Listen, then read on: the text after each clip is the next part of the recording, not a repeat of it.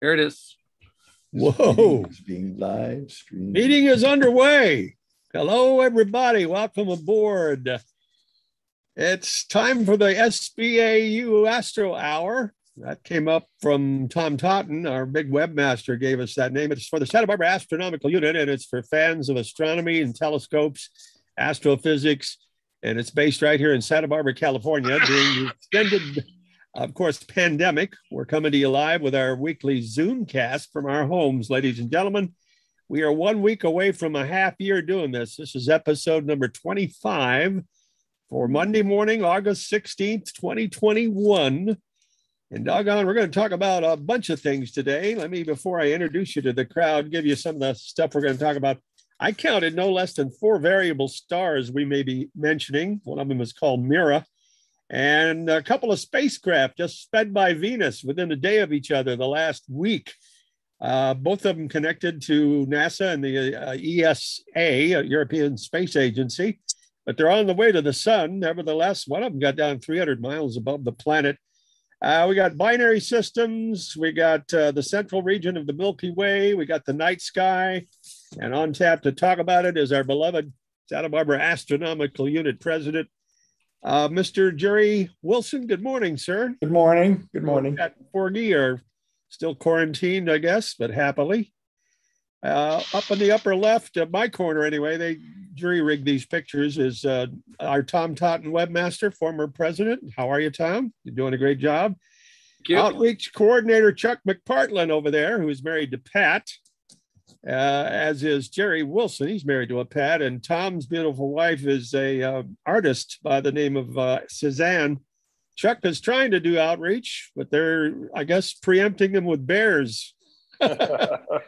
you want to tell everybody that, or is that just as well? Oh no, I, it's just it's just a screw up where we showed up. You know, we drove, I don't know how, hundred miles or whatever, and showed up at Lopez Lake, and uh, oh, that's and the then the ranger said, "Oh, no, tonight's talk is on bears," and geez. uh, so well, so you and talk about Ursa Major. You talk about Ursa Major. yeah, Ursa- that's Well, that gentleman talking is uh, retired, I guess. Tom Whittemore, uh, Yeah. our SBAU newsletter editor, uh, taught science at Westmont. How are you, Tom Whittemore?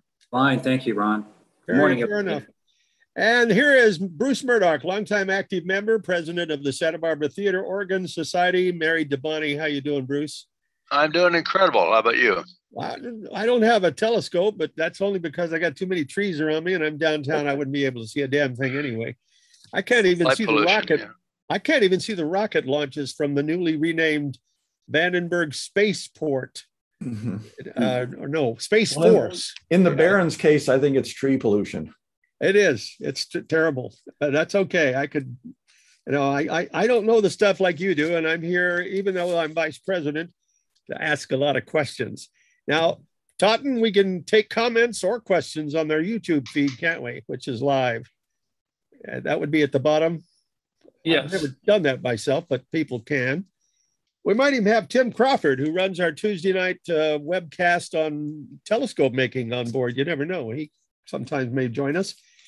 Shall we do the night sky or what would you like to talk about? Variable stars or let's get Venus out of the way? Mr. President, your choice. Sure, go down to Venus. I Uh, included a couple of video clips for uh, Tom to run. okay. The addresses are down there. We'll talk about it as he calls those up because this is fascinating stuff. One is the ESA mission Solar Orbiter, yeah, launched in collaboration with NASA, flew by last Monday, the 9th, about 5,000 miles up. And um, then I can't even read my, what the heck does that word mean? Uh, Bepi Colombo? Oh, that's the name. Yeah, Oh, okay. and that's a joint. Uh, that was the second one. The ESA Japanese mission, JAXA, went by the next day and flew above Venus's clouds um, about 310 miles. And I guess they took some measurements, but they weren't designed to go there, were they? Here we go. no, they were just passing by. That's a heck of a crescent. Yeah, So it's Oh, that's our the si- shadow. What's a Isn't- That's shadow? the shadow of, of Mercury in front of the moon or whatever. the- Venus, I mean, in front of the moon, on the No, sun. Oh, no, no, no, this that's- is- that's that's- just Venus. That's coming in on What? Venus. Wow, And- that's really a crescent, isn't it? Yeah. Well, that's probably an atmospheric effect. It's got such a thick atmosphere hmm. Oh, yeah. because you can see it click. You know, you can see it almost all the way around. Yeah. All It's a right, lot of there's- glare that makes it look real big. Do we know which of these two uh, speeding orbiters took this picture, this video? The solar orbiter, ESA? That means it would have been launched from what? Northern South America on the coast? Chuck? Yeah, they usually launch from British Guiana, or I'm sorry, from French Guiana. But but we're tied in with them. What would we do? What would NASA? Well, instruments on the spacecraft. Oh, I see. All right. And they go by Venus for what reason? I happen to know, but I think you guys can explain it better. There's a They're heading for the sun. They use gravitational assist to actually slow it down. to slow it down so it Yeah. won't get sucked in, so they won't get sucked in. Look at this. What are these pictures of? Well, if we they're got? going too fast when they go by the sun, then the sun will fling them way out. So they want them to stay in a, a closer to a, a less elliptical orbit. Okay, now neither of these missions is what we're- what's called the Parker probe, is it? That's a third No, to the sun, which NASA claims. that one's it- already out there doing its highly elliptical orbit. Okay, and it's inside the orbit of Mercury. I don't recall where that is now. Okay, At least part of it must be, No. because it does get pretty close. Tom, can you show the other video for the Bepi Colombo? Betty Colombo and his orchestra. Oh, there we go. There. This is the one that came real close. Wow. That's far away, but you can see it. Oh, yeah, yeah. It starts out real close. Matter of fact, it fills the frame. Well, the life of me, I can't imagine how they get that right. I guess it's ultimate calculus. Uh, This is remember this this this this navigation is all based on math and physics developed in 1660 or first published. Which was calculus. physics. That was calculus, right, Sir Isaac? Yeah, Well, gravitation. Calculus is the math of what changing variables, speeds, increasing or decreasing, things like that. Angles. it's kind of like that. Yeah, What is It's this? just what happens when you take time step down to zero. You know, it's uh, you're doing infinitesimal. Uh, samples. it is the thing that you're looking for. Or I at feel like a, I feel like a Strauss waltz right now. Anybody want to lead? Look at this. Anybody want to lead? Math calculus is the um, there's two forms of it: differential and integral calculus. And oh yeah, oh yeah. they deal with um, functions instead of before that you had to make everything a straight line because you could calculate things based on extrapolating straight lines calculus lets you handle complex curves and get accurate curvature at each point or uh, accurate areas under a curve or inside of a solid. It's a good way. it was developed simultaneously by isaac newton and leibniz. I forget Le- leibniz's first name Incidentally, I didn't introduce myself. My name is Baron Ron Herron. We used to do this on the radio. It's now uh, Yeah. way better because we can see things. My my question is this: If they're off in just a, a mile or two or a kilometer, to speak European, yeah that would change the whole trajectory, wouldn't it? Just a few hundred feet, I would It think. does, but their navigation's very good. They usually hit it right on. And if it were off, they'd fire a jet a little bit and put Oh, it I see. They correct, the orbit, okay, uh, called a mid-course correction. All right. But like in the case of Mars, the last couple went up there. They didn't need to do any mid-course correction. They just let it coast. Wow. What's oh, the it's difference? Gottfried Wilhelm Leibniz. Wilhelm Leibniz, yeah, old Bill. Anyway, the Baron is vice president of the Santa Barbara Astronomical Unit. Which may never meet personally again. Oh, I think we'll get back to it. I hope so. God bless. Now, what's the purple line? Is which one is that? Bepi Colombo and his orchestra? Yes. Say Colombo and his orchestra. strange, strange Italian uh, roughneck uh, detective wore a dirty overcoat. Unfortunately, they don't say what the green dot is, and they don't say where the sun is. But I assume the sun's at the center of that circle. This this Well, one is one of going foci, around Mercury. Oh, this What is going around Mercury. Ah, this is Mercury. So that's that's future orbit. You can see the date Trajectory around Mercury. Okay. Oh, it's a little in the middle is Mercury. And it's being used to slow it down, not speed it up. Oh up. no, passing Venus is made to slow it down. Yeah, that's what I mean. Yeah. Yeah. Um, This So one does not have a good explanation, but huh. Otherwise, it would what go jet back into the outer solar system or go into the sun? No, it would come back to where we are, but it would pass by the sun uh, fairly close. The sun could speed it up, of course, and throw it way out. And our space programs save hundreds of thousands of dollars worth of fuel by having the planet assist with its gravity. Well, yeah, or you'd have to have a huge spacecraft with lots of fuel to do that Yeah. with rockets. Yeah, you don't just point at the view screen and say, you know, Go let's there. go. Yeah. Yeah. Engage. Yeah, Well- engage. Thank you. As I mentioned, NASA did send another probe just to do. I guess this these two are also destined for the sun only, not Mercury, and not and not. Bepi Colombo is, is heading to Mercury. Oh, it's go- it's a Mercury. Is it going to Yeah. orbit? It's going planet? to. It's going to. Okay. Yeah. Well, interesting. Solar Orbiter and Bepi Colombo's double Venus flyby. That was last week. Just happened to fall in that. Wonder how close they were launched together. I don't think either one of them took a picture of the other. Yeah. Well, one was 5,000 miles, the other was 300 and something miles above the surface of that nasty planet we'll never really land on. We might land on it, but we're not going to stay there. Okay, interesting stuff. I hope we Yeah. get a report from Parker someday. I'd like to know what the status of that is. I guess it's got a similar orbit to Juno, the one that's going in big loops around what every 54 days around Jupiter. It's another day, another. Oh, for for Juno, yeah, but uh, Parker goes in a big ellipse, you, analogous uh, going around the sun. I got you. It can't stay as close as it'd like to the sun for an indefinite period of time. It gets too hot. Yeah, it's pretty hot in there, Oh yeah. and there's a lot of radiation. It's crazy. It's like we're going that direction, maybe. Mr. President, what I, could I get you to comment just for a couple of minutes here on Lanakia? Because you sent that to us several weeks ago, and before I let that die, I don't know if we if this is a major subject. It's probably the biggest things in the universe that we see or can see or determine that are out there. Strings of galaxies, of which the Milky Way is one. And uh, it's a Ja- what is it? A Hawaiian name we've given our string.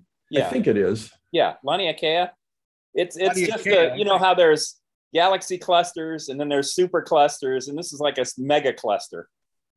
It's a Mega- cluster of clusters. Yeah. Okay, somehow from a far distance, it would look like a bunch of spider webs inside uh, the They, uh, yeah, the picture you saw that had all the lines all over it was where things are headed. It's not just where things are. And here's an image here that, that Tom Yeah. has. A static image. Where are we? Uh, right there. The little no, the little blue thing says local group, so we're down where the little blue bit is. oh, a little to the left of that. There you go. And that would be uh, Andromeda and us and all these little satellite galaxies. That's what Yeah. we're looking at. That's the local cluster. And the local cluster, the members are all blue shifted with respect to each other. That is, we're moving together. toward each Uh, other. yeah, it's toward each other's. The the gravity is the dominant force here.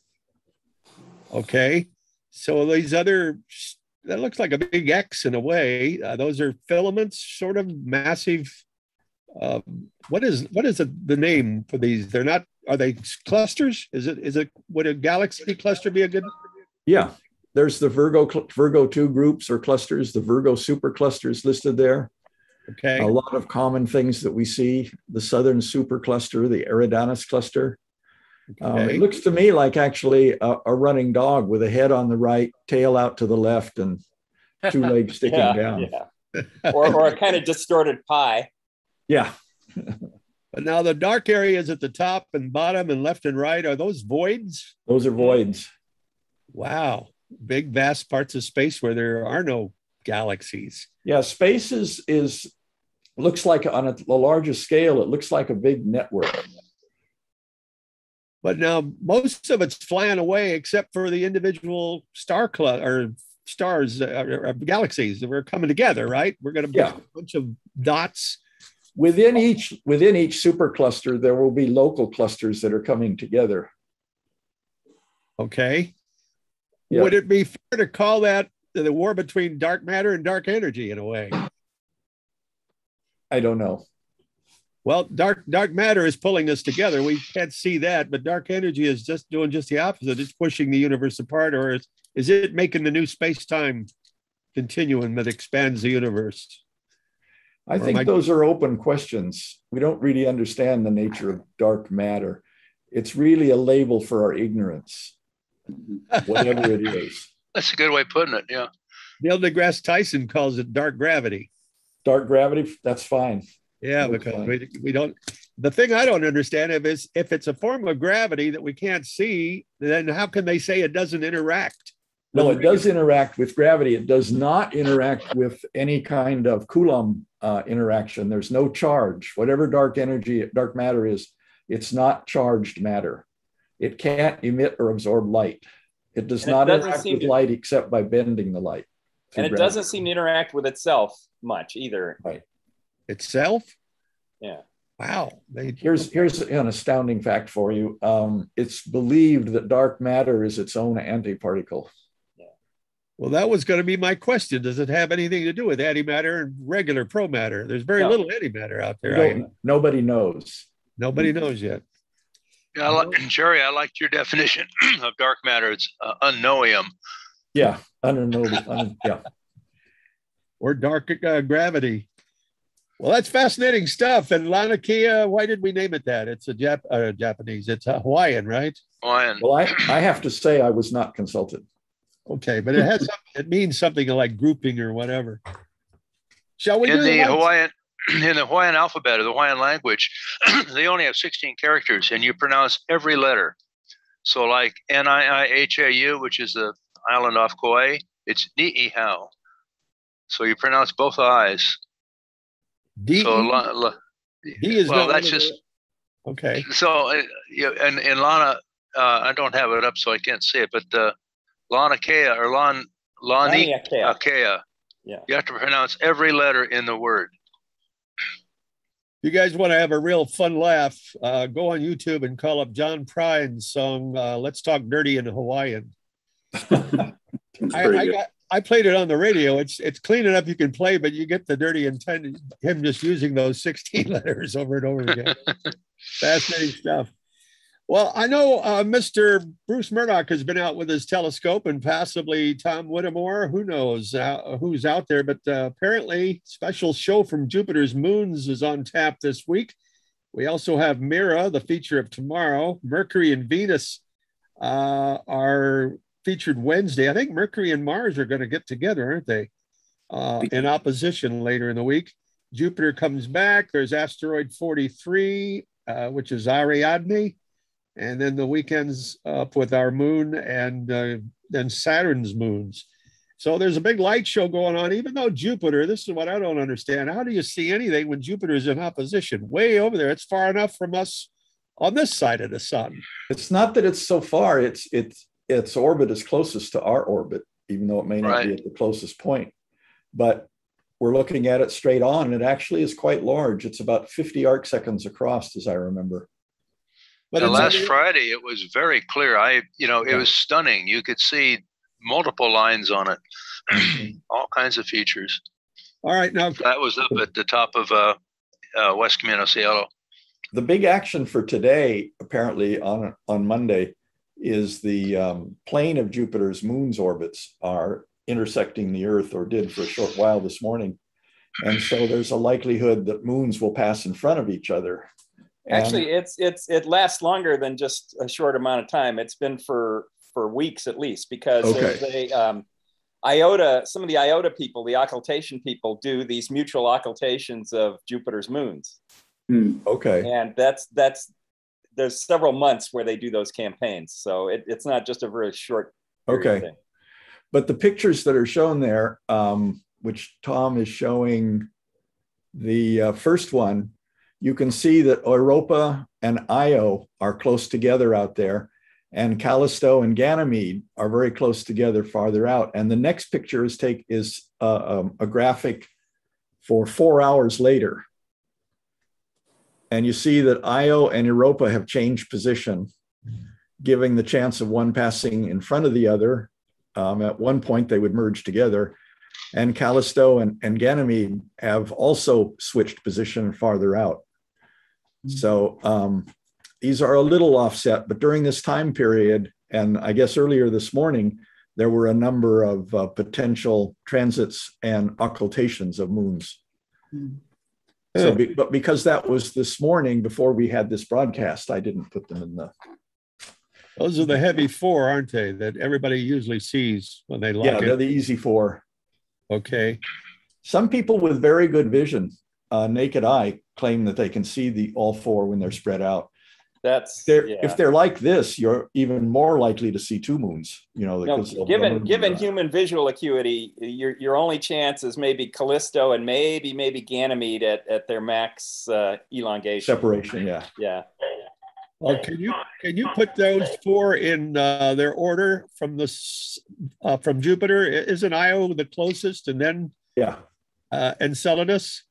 And don't are there? Europa, Europa. Europa. This is a perspective view. You know, Europa may be way in front of, of Io in, in our plane towards us. Yeah. So that's why they don't always appear in the same order out from Jupiter. Okay, I understand that, but Jupiter has what sixty something moons. Where are they? Are they in Seven- 79. seventy nine? So there's got to be several we don't see. that are just- yeah. Well, they're they're tiny. They only found them with spacecraft. We couldn't see them from Earth. Well, some were discovered telescopically, but Oh yeah, yeah, right. But uh, all of them, I think most most of the recent ones have been more from the uh, from the, the satellites we sent out there. yeah, or telescopic with Yeah, Hubble. right. We Oh yeah, yeah, yeah. Hubble, right. So those seventy three are scattered clear out there. Yeah. And they're there, and they're usually on the ecliptic, the same ecliptic as these that we're looking at, as well as maybe Well, the rings of Jupiter. Do you mean the ecliptic or do you mean on Jupiter's equatorial plane? Well, are they on the equatorial ecliptic of Jupiter? Well, it's it's not an equatorial ecliptic of Jupiter. The ecliptic is our plane around the sun. Right. And then there's Jupiter's equatorial plane, and the big ones are on that. But if you take all these other irregular moons of Saturn, they're just scattered all over the place. It looks like a um, like an elliptical galaxy or like a globular cluster. They just orbit in all kinds of different uh, orientations, and it covers a huge patch of the sky if you map all 79. Okay, but even though Jupiter has some rings, unlike Saturn, you're not going to see them, are you? Right, they're very close to Jupiter relative to this picture. Okay. Interesting, fascinating. By the way, both both those graphics were generated by a, a very nice app on for, for your iPad called uh, Jupiter Moons. Here, Tom brought up the multi moons here. Oh, Wow. it's- okay. how many colors do we see? Three? Blue, orange, red? See, Callisto is way inside here, so a lot of these moons are pretty far from Jupiter. And Io, in case nobody knows, is a, a little rocky volcanic uh, going through uh, incredible surges of almost like an epileptic fit that planet eh, or that moon gets. Jeez. an interesting thing about all these other moons here is that some of them are in retrograde orbit relative to Jupiter. Mm-hmm. And so you, Really? you have some groups that seem to have formed from collisions of moons, some prograde and some retrograde. So how many moons are shown there? It's It's probably like all a bunch. I don't think it's all 79 though.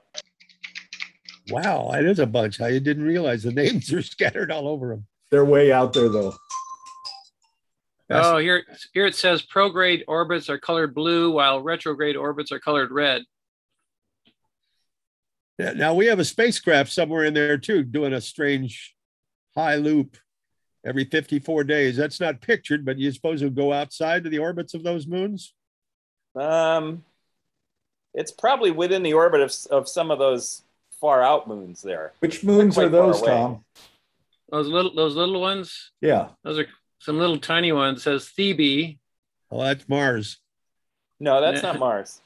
Is it Almathea, the fifth Amalthea was largest moon. discovered telescopically from the Earth. I thought Mars's moons were Phoebe and Deimos. This no Phobos and Deimos. Phobos and Deimos. Deimos and Phobos, yeah. Oh, I'm sorry. You're right. Phoebe is a different word. I'm sorry. Fear and trembling, literally. that's the Literally Death what it- Star. That was Io. Wow, fascinating stuff. And this is just Monday, which is today. Some of the stuff's already gone behind us. Uh, observers in the central section of the US uh, get the best view. The whole thing is an angle. Uh, way out in Europe, I guess they don't get the same view we do. makes that much Um, difference. you need to explain what we're looking at. These are discovery photos for the various moons. Which ones? Top Well, one- here it says Euporie. Huh. Strange name. Mhm. Is that a planet or a star we're looking at? That's one of the moons of Jupiter. Oh, it is? That bright? No, that little thing with the the dashes on it. The thing that's moving. Oh, oh, I see. I got you right. And and Jupiter is the lit up star-like object No, at the top. no, those are background stars. Oh, I see. All right. So this is an actual photograph through a telescope. And the thing that looks like Sauron's eye is just overexposure, saturation. And where is Jupiter in that picture? Jupiter's far out of the picture. Yeah. It's not even in the picture. All right. Wow. Well, if you say we can see it clear over on the other side of the sun, I'll have to buy it. It's hard. It's to not make on the other side of the sun, Ron. It's at opposition, which means it's opposite the sun in our sky. Mm-hmm. So it rises when the sun sets and it sets Mhm. when the sun rises. So it's right overhead around the middle of the night. So it's definitely on the same side of the sun as we are. Yeah. Really? That's what Yeah. opposition means. Yeah. Yes. I swear I got that totally wrong. I Yeah, thought, You're, you're, you're Conjunction thinking of superior conjunction and inferior con- conjunction. Yeah. Which only Oh, applies yeah, to the inner right. planets. Yeah, for, for inferior conjunction. Yeah. Right. If you go down to Friday, you can see a similar clustering of Saturn's moons oh yeah. Shall we jump taken there? from um, Saturn's moons app. Uh, Friday the 20th, end of the week, our moon passes four degrees south of Saturn at 3 p.m. It's not going to do us any good. By sunset, they'll be four and a half degrees apart and visually uh, rising. That's my word in the southeast in Capricorn. Oh, shit. Jupiter still nearby. Saturn Mhm. goes 0.2, two tenths of a magnitude. Yeah. And if you see uh, Titan way out there to the left, um, that's the easiest one to see in our small telescopes when we set them up. You can see the other ones if it, the night's really dark and you know where to look. But there's also a lot of faint stars that we confuse with that. But Titan's a little, it shows white here, but it's actually a little orangish color. So it's And with, it's with easy something like a six or eight inch telescope, you can actually see more moons around Saturn than you can around Jupiter. yeah, we're not limited to four. Question. Tom, I sent you a graphic or a put together graphic of uh, the moons of uh, the solar system with Earth to scale. Uh, I'll ask you, Bruce. Uh, do you know how many moons in our solar system have an atmosphere? Well, I mean, a breathable atmosphere or just No, atmosphere? just just have have gas around it. There's, Well, you, Our it- moon doesn't, but It Titan depends. It depends on how you define atmosphere Yeah. and what pressure level. But Titan is the one that has the really thick atmosphere. Yeah.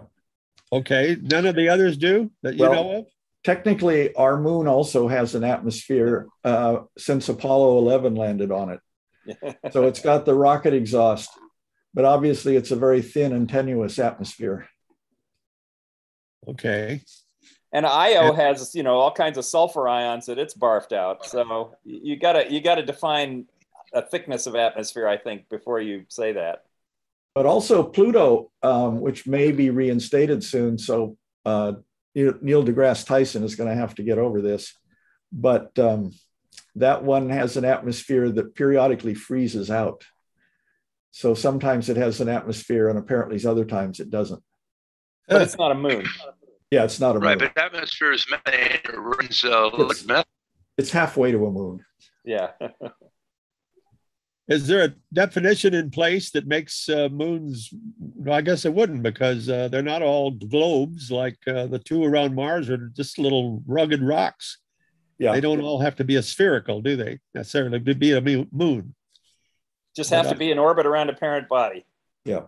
And six of our moons in our solar system are larger than the recently demoted planet Pluto, including our moon, I assume. Yes. Is our moon smaller or larger than the planet Mercury?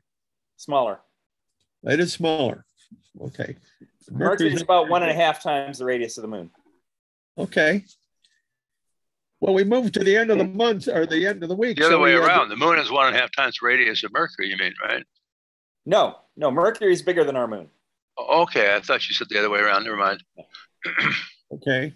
But is our moon as big as some of these monsters like Titan and Europa and Titan is bigger than our moon, so is Ganymede. okay. Pluto is Titan not used, Titan used to be considered the biggest moon in our system, but now I believe it's what Ganymede, Ganymede. Yeah, Ganymede. just a little bit larger. I see. And they found uh, bodies out in the Kuiper belt where Pluto is that are even bigger than Pluto, but Yes. didn't get discovered when Pluto, right? There's about two or Well, we're not sure any of them are bigger than Pluto yet. The, the ones that we thought were bigger than Pluto have proved to be roughly the size of Pluto. Okay. Well, Pluto at least has a Charon. Is that the name of it? It's, it's got a moon. Charon, yeah. It's got a couple now, doesn't it? It's got I say. Charon. I say Charon. And they're even finding asteroids with moons of their own. Yep. Well, let's go to Tuesday, gentlemen, real quick. Uh, Omicron CTA, CTI, or Mira. Omicron. That's it. Micro, Omo, okay. Oh, I, I write too Well, small. I know uh, Jerry gets a big kick out of So, hey, Ron, Ron, just call it Myra. That's good. what it is. In parentheses, or Myra the star. This is our first of a, at least three or four variables. Apparently, there's variables like crazy up there, like binary systems and Yeah. multiple stars. Well, Tuesday, it's time to focus in on a very long period variable star named Myra, whose Mhm. brightness waxes and wanes over 332 days. It's about 11 months. It should uh, peak in uh, brightness tomorrow, meaning Wednesday. We're on tomorrow's Tuesday. Time to enjoy as uh, full glow, magnitude two Yeah. to three, without any optical aid, uh, meaning naked eye, I guess. Yeah, one thing to keep in mind too with this this beautiful plot here is that that's a collection of data from mostly amateur astronomers in the AAVSO, the American Association of Variable Star Observers. It's just beautiful. Uh, the other thing you want notice here is that what roughly six magnitude you can see with your naked eye. So if you look at the sway from six up to three, and I say up to because three is a lot brighter than six. Um, it's a short time that you can actually see the star, star with you with your naked eye. Um, okay, I think it's something like thirty percent of the cycle, something like that. My students calculated one time at Westmont. Okay, but for the most time, you can't see it with your eye. Really? And it's in Cetus, C E Yeah, T see, U. it's the whale, or yeah, the whale or the sea monster. Mhm. And you can see that most of the observations are being made when it's at the peak or at the, the minimum there, 'cause the Right, density of that graph. Yeah. And That's there's a just message. beautiful. Absolutely, good point, Chuck. That's just absolutely beautiful data, incredible data. You know, but yeah, it's pronounced Myra. And I saw Mhm. Messier in there among those stars a second ago. So uh, yeah, seventy three maybe. I, I'd have to see the plot again, the chart. Tom, throw that uh, Find your chart again. throw those Yeah. stars up again and let's Yep. see what we, Jerry, Yeah, M seventy seven. Yeah, I was going to say 77. Yeah, that's a galaxy. But yeah, Jerry, thank you for putting these things up because this is absolutely gorgeous. It's a gorgeous uh, map of the Cetus the whale. Mm-hmm. Yeah. This What is from Wikipedia. Okay. Um, My, Myra, you know, again, Ron is Omicron Ceti. Omicron Ceti. Omicron. That's how it's pronounced. I think. That- that's how I say it. You know, it's it, of course it's a Greek letter. Well, we've gone from uh, having a variable star of the month, gentlemen, to now having four in one week, one day. so we're we're still not through with Myra. understand that. Um, first few hours of the morning are the best time to see it tomorrow. I'm sure you'll all be up long before dawn, looking up through the cloud cover. Actually, we've had some nice days recently. Yeah. We've also had some hot days recently that comes with it. The reason the morning is good is because the moon isn't in the sky. Oh, yeah. is that what it is? And Yeah. Cetus is nice and high. Yeah. Yes. Yes. Mhm. Well, some of its buddies up there, Menkar, which is Alpha Ceti, CT, Ceti, how do you say it? C E T I. Hey, Seti. Ceti, Alpha, and Diphda, which is Beta Ceti. Over the Mhm. next half a year or so, Myra will fade down Yes. mid July. That works out to about, since it's mid August, that's about 11 months. Three, three, That's right. hmm Mm-hmm. It's a long period variable star. It's a big carbon star. And this is, you know, not being occulted. It's it's basically breathing. It's going in and out, in and out. This mm-hmm. atmosphere. And here well, you can see that Tom's put up where it's sort of puffing off atmosphere, and it's also yeah. got a bow shock from running into um, gas clouds in its path. That's an incredible shot. That's beautiful. Oh, is that, that take, taken in ultraviolet? Okay. Oh. You don't see it invisible. Mm-hmm. Now, its companion star is a white dwarf. We don't know of any companion star. I don't know about that. To, to me, this is a solo, a solo show.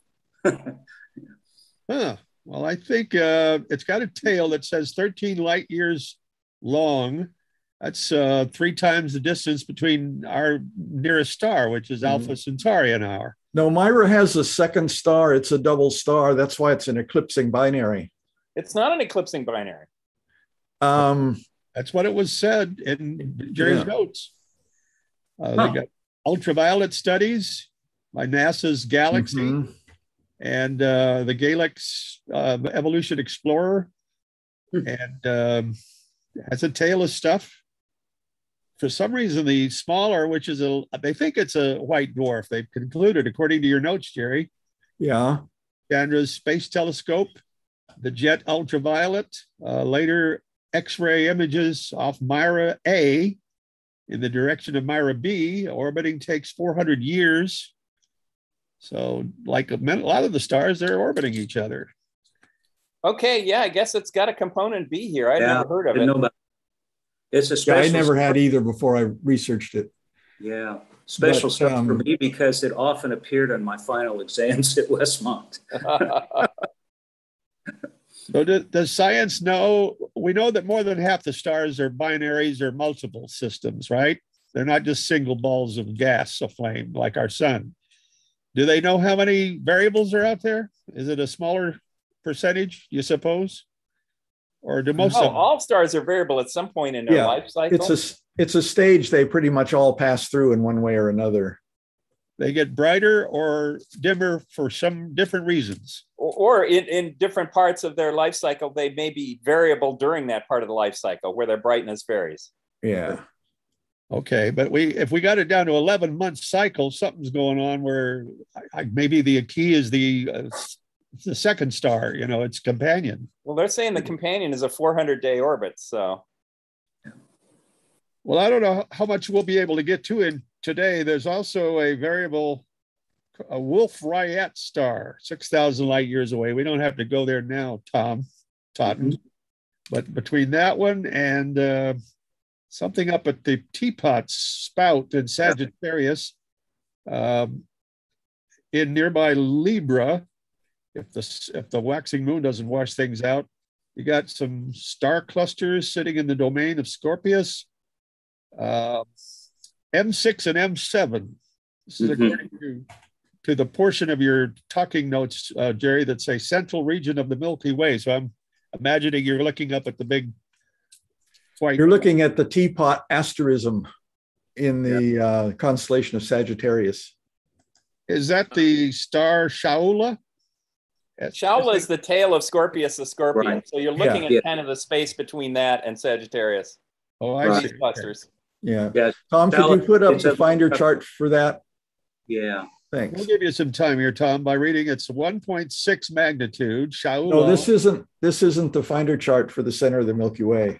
yeah. Okay. Oh no. Which one That's are we looking for? Yeah, the Where two is it? Keep going. There. Here we go. There it is. Lesath and Shaula, and they point to M7 pretty much. Well, that's toward the Milky Way, the, the central region seems to be. Yeah. Yeah. yeah, the region right above the between between Borealis, Borealis, and the word Kaus below it, in that area. Um, that's the center of the Milky Way, and you can't uh, see it through all the dust and um, star fields there. But that they looked at it in infrared and radio waves to see what's there, that the black hole or more is there. Now I think they're thinking there's more than one black hole, and it may not be a black hole, it might be a dark matter congregation Whoa, back with that again. Yeah. Don't know, but that's what they think. Wow. Not only well, don't you know, you can't see it. You need a case. Yeah. Well, M6 and M7 are the clusters that were mentioned, the open clusters, and they're really good, nice views in a small telescope. Uh, so and they're dynamite, they're di- dynamite for star parties, right, Chuck? Yeah. Oh, yeah. yeah if in the summertime. The M6 and M7 there, then Shaula is kind of down and to the right, forming a triangle with them. That's that pair of stars, also known as the cat's eye. Yep. And I asked that. Where is the cat's eye? Can you point it out with your pointer, uh, Tom Totten? Come down, come down and down and right to the to Shaula, the tail of the scorpion. Ah. Tail of the scorpion. Yeah. Okay, right there. See those two that are close together? Yeah. That's Shaula and Lesath, and those are often called the cat's eyes. That's right, the cat's eyes. Yeah, then, a, little more than a week ago, I, I, showed off M7 to a fun group uh, with Chuck. And uh, I was telling the people that the light you're seeing, you know, came from the year 600, you know, so enjoy it. yeah, enjoy it. Was that the cluster that was found by old man Ptolemy? Yes. It's called Ptolemy's cluster. Yeah. So he must have seen it, huh, Chuck? Yeah. And M6 yeah. is the butterfly. Yeah. Which oh. most kids see as a bat. bat. Well, I don't see any butterflies. So if you have a if you have a well, wide, wide field of view telescope and you put it up there, you're going to find all sorts of stuff. Yeah. Wow. Fascinating stuff. Old man Messier, he just pointed out the brightest spots in the sky. They could be clusters, yeah. galaxies, stars. Yeah. yeah. He was looking for faint fuzzies that don't move. Yep.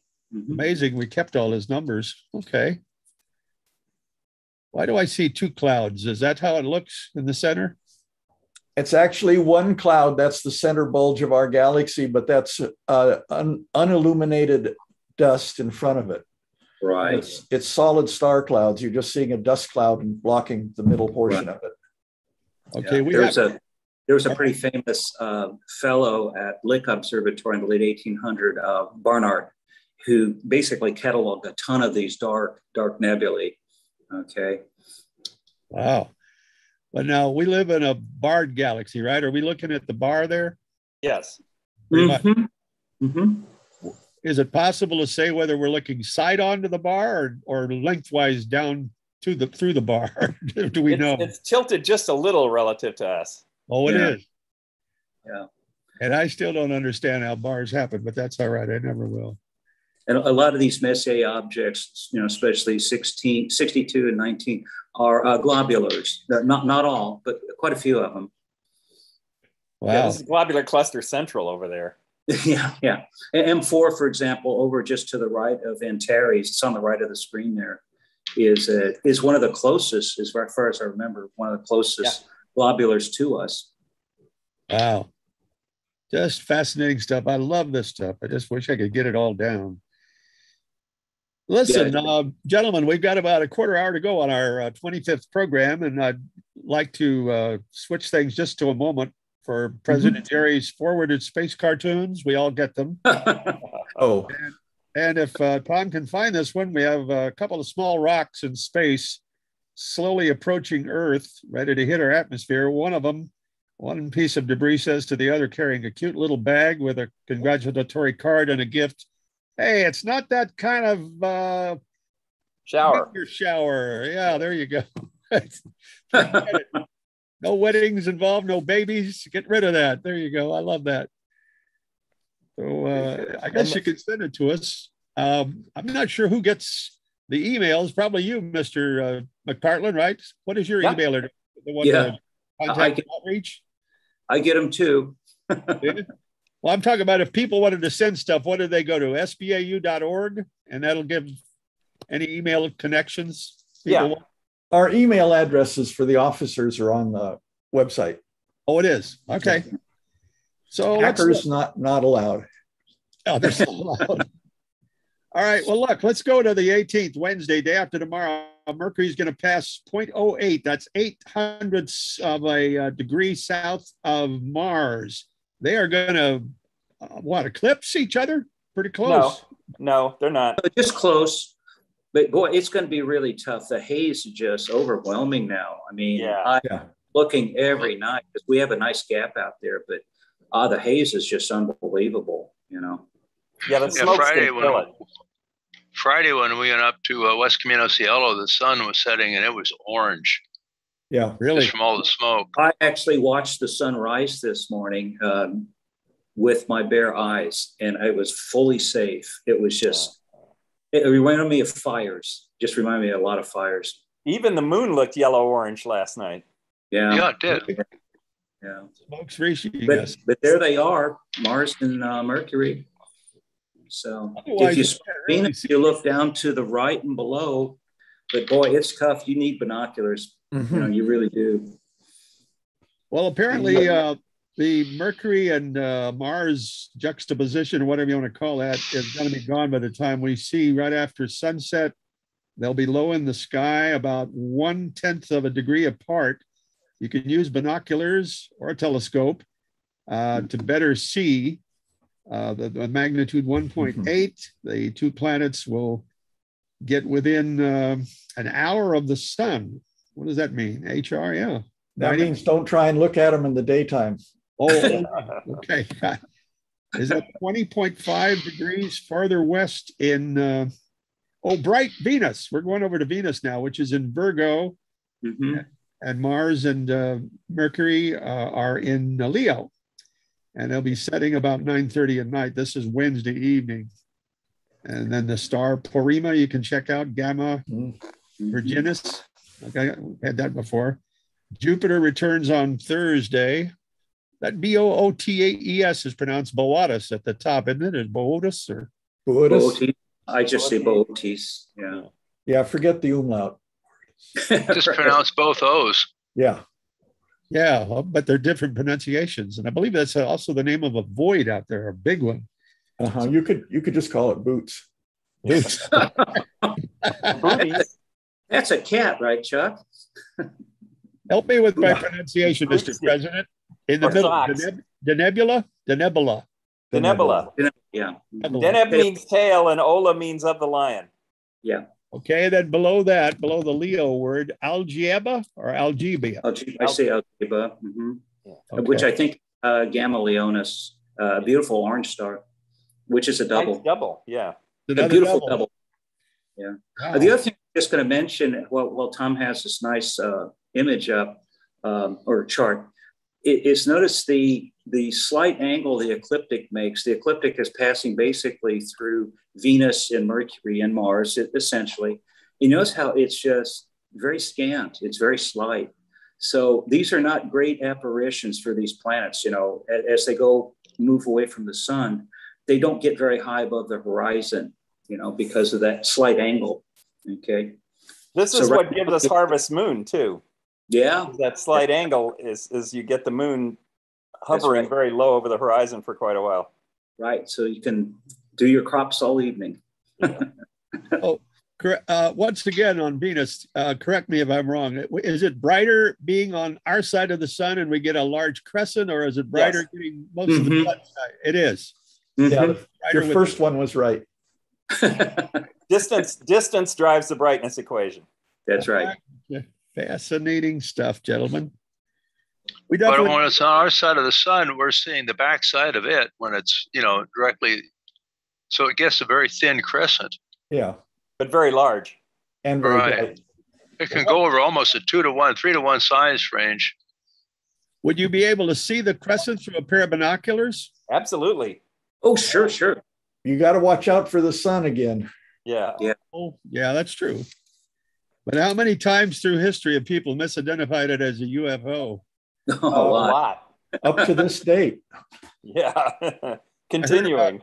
I heard recently about some guy, a cop, who was going back and forth on a weaving road looking at Venus, and he swore he saw the UFO go back and forth. Yeah. Oh, Interesting stuff. Shall we do Thursday and back to Jupiter reaching opposition? Again, that you got to Yeah. explain that to me. There's still Jupiter's still on our side, but where is it? It's not behind us. It's not, we're not in between it and the sun. We're between it We and the are. sun. We are. Yes. Yeah. Then that's what means opposition. It's it's almost like Kubrick's lining up the three bo- bo- bodies of in space. Right. Right. Right. Opposition means it's opposite to the sun in our sky. Oh, well, of course. Okay, well, that makes sense. Fascinating. Totally, explained it, gentlemen. Well, anyway, Jupiter reaches opposition at uh, what time of day? 5 p.m. on Thursday, the 19th of this week. So it's this week. Huh? Yeah, but you wouldn't notice anything if you look at it any night this week or Yeah. around this time. Yeah. Well, see, I, I Saturn was at opposition a, a week or two ago. Yeah. Right. Uh-huh. Now what's that black spot? What is that a shadow of? I don't Io. Io, from a recent, actually a couple years old, right? I think that's from Juno.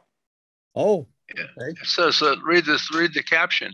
In 2019, the Juno co- spacecraft caused this stunning image of uh, blah, blah, blah. A swatch of Jupiter. Yeah. Yeah. Almost Great. looks like that comet that broke up and hit one right after another. Shoemaker levy. Shoemaker Levy, remember it? Left Yeah. Yeah. That was 94, I think. Right. Yep. Summer '94 in I July. I wrote a paper on that in Fred Marshak's class up there at City College back then. Huh. Wow, fascinating stuff.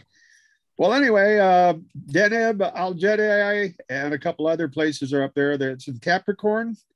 Mhm. Now I understand it because this is the part I didn't understand. Rises, the planet rises at sunset, sets at mm-hmm. sunrise, and I'm trying to imagine doing that by being on the other side of the sun. Now that I know, at least I'm willing to admit my ignorance. You'd need to have a spacesuit on. yeah. Think of it as, as full, like Jupiter's like the full moon. It's full Jupiter. Yeah. Oh yeah. But can we see things like the big red spot and the lines on the planet and even the moons for that matter if it's on the other side? If you've got the right telescope and you've got good eyes and good seeing on dark sky, yes, you can see that. It's just that the angular size gets smaller. Plus, when it's near the sun for about I don't know what sixty or seventy days, you can't you can't look at it. Yeah. Well, some some of us put things in perspective with our the part of our name uh, AU. How many AUs uh, are between us and Jupiter when we're lined up? We're one AU from the sun. How many? Right, and, and it's Four. five from the sun, so it's about Yeah. four right now. Four. About 4 Uh-huh. And uh, beyond that, the rings planet um, Saturn is almost twice as far, isn't it? Almost the same distance Right. beyond. Eight or nine AU, yeah. And uh, asteroid Ariadne 43, 43 Ariadne reaches opposition also. Okay. in the asteroid belt. Yeah. Yeah. Could you show the the finder chart for that? I think it's got the picture of the moon over on one side. And Ariadne, Uh, I think I'm I'm at that finder chart. Yeah. Oh, that's okay. You you already had it. Yeah.